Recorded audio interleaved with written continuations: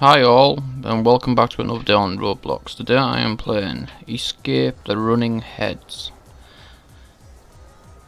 Basically I pluraled it because there's a hell of a lot of heads on this game and you have to run away from them.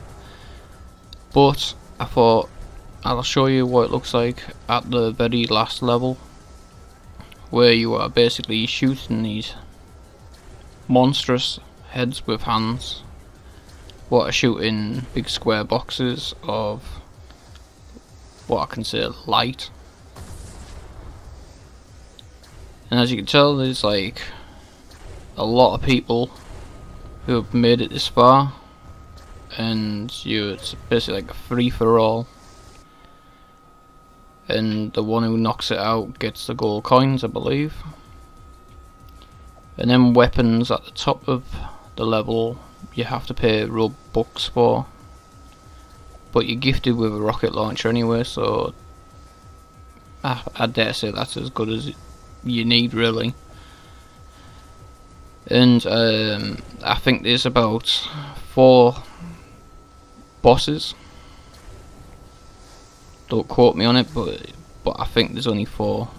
And as you can see, there's a hell of a lot of people shooting rocket launchers, so I've not seen anyone with uh, special weapons or anything like that, so you don't really need it.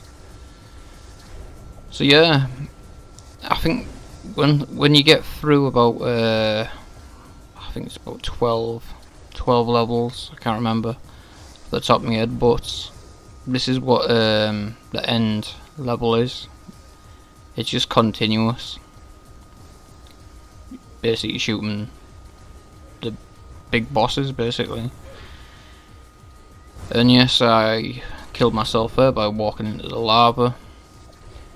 And the teleports, they can mess you up just like that. But I think I'm just useless today for some reason. A lot of people stay at the top of the map, shoot down at them. But you know, you like to get close to the action, just jump straight down and get stuck in. I was going to show you the whole entire gameplay from start to finish but I thought it's a bit tedious so I just skipped it and went straight to the end part for you all to see what you're going to get once you get right through the game.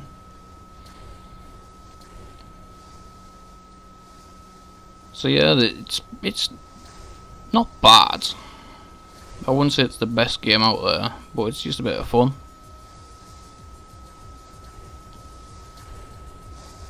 So, yeah, give it a go, see what you think. Take care, bye bye.